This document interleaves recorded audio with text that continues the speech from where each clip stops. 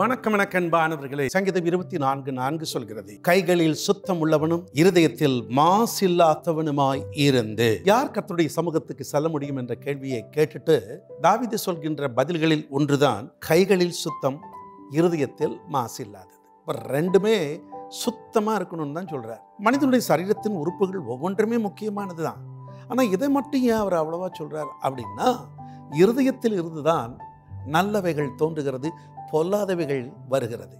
இந்த கைகள் தான் வேண்டாதவைகளை செய்கிறது நல்லத்தையும் செய்கிறது.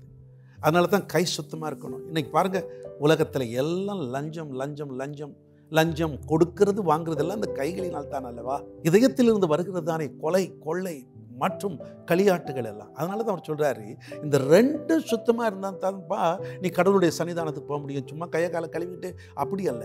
இருதயத்திற்குள்ளும் நீ சுத்தமாக இருக்கணும். கைகளிலும் சுத்தமாக இருந்தால் நீ கடவுளை தரிசிக்க முடியும். முயற்சி பண்ணுங்கள். கத்திரவங்களை ஆசீர்வதிப்பார்.